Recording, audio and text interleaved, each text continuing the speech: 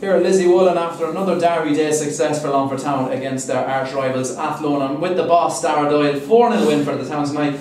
It was tight at times, but Longford they just blew Athlone away in that second half. A couple of brilliant moments from Dean Burns, some good impact subs again tonight. McNally, Chambers all playing a role. Matthew O'Brien good off the bench as well. Overall, good night at the office. No, listen, we're really happy when we come here to, to Athlone in a, in a big derby game because that's what it was. They're a team who've been in form over the last couple of couple of games. They've got two wins, they're a good side, they've got some really good players. We knew that coming into the game, so listen, really happy with a 4 0 win. Three different goal scorers, one was an own goal, um, impact from players off the sub, and a clean sheet. So it was, it was a really enjoyable night, I suppose. And I know we spoke about it in previous uh, interviews and after previous games that maybe Longford hadn't put a 90 minute performance tonight uh, together so far this season. Tonight, was that the closest uh, to it so far? Well, I personally thought the first half was quite even, and we, we'd gone in a goal up, and I, I think it, I wouldn't have been bad if I had been nil all because I thought it was. I thought Athlone were quite good in patches mm. in the first half. They hit the crossbar in the first half too. Yeah, from a, from a header we know. I know we had a couple of chances ourselves, and we did look dangerous at times on the break, but. Um, no, even in the first half I thought overall, but you mentioned already uh, we did end up blowing them away with I suppose the overall intensity and the one or two decisions that did go our way in the game. Mm. And uh, another goal for, for Burton and Manley, so they're six apiece now. There's a good little battle going on between them. But uh, just on Rob Manley, you seem to have finally found a way to get the best out of him. He was getting the ball with his back to goal a lot earlier on the season, but now this is uh, I think his third or fourth goal in maybe five or six games. Yeah, it's his fifth, his fifth goal in, in the last six games. Yeah, he's, he's a number of assists in the last six games as well. So,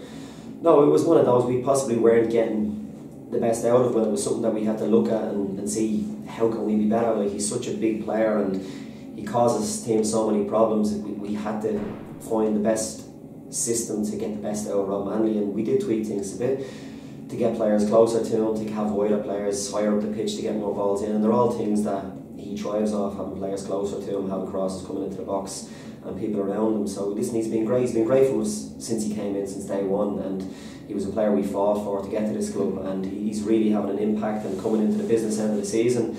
Big players come good and he's one of those. And a clean sheet tonight as well, that'll do the, the confidence the world of good. No, no, we, we said that. I know um, we defended a number of corners in the second half really well, where we won headers, we cleared our lines. They did have the one chance in the first half, but I think other than that, they, they haven't really troubled us. Um, so, listen, we move on. It's another massive game now next week. We have Galway, who I think they were called, pegged them back tonight, yeah. so they're quite. I think they're probably around 20 points now next week, so they'll come into the game feeling that they have to win next week to have any chance of getting into the playoffs possibly. So it's a huge game. Other results possibly might have went their way tonight mm. from what I've seen, but um, we can only look after ourselves. Galway's a huge game. The great thing we have now for the next four weeks is that it's one game per week. Like we've we've had a period, I suppose, since we've come back for COVID, where I think we've played something like thirteen or fourteen games in 50 something days. It's been a Premier Division schedule and more at times. It, it has, and for players who possibly are doing a bit more than some of the players in the Premier who, like you say, are full time. Mm. We, we have some players that have a, a number of things going on, and it's a credit to them.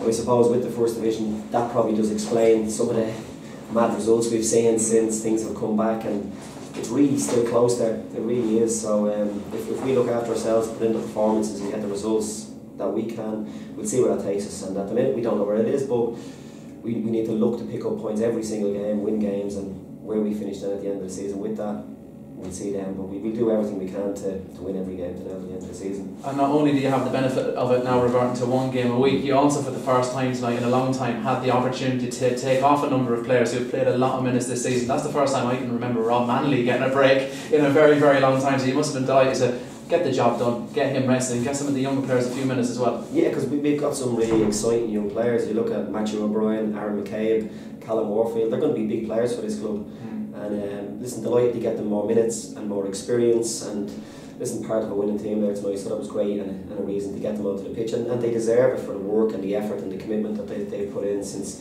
being with this group. A final question. Uh, it's great to see an away crowd at a League of Ireland game again. They travelled in big numbers from, from Longford tonight. Don't know how they managed to get the tickets, but they got here, they got behind the team, and great at the end to see all the players and yourself going over. It was just uh, reminiscent. It brought us back to before all this started, you know. But Uh, hopefully, again, they'll be able to get to another away game at some stage this season. But great to have the fans there backing you tonight. Yeah, listen, we were, we were delighted to see them. I, I heard from a little birdie that people managed to get tickets, whether it was on, online. I know with, with the number of season tickets there, they went on general sale. Yeah. And I know from what I see online, a number of people that were very happy to get their hands on tickets. And listen, it was brilliant to see so many there today. It really was. And um, we're delighted. We hope that they'll continue to support us. I know obviously it's a huge game at home next week. and we're hopeful that they'll all be back there to support us and encourage us to, to continue on this journey together. Another win in the Classico. Well done. Thanks very much. Thanks very much, lads.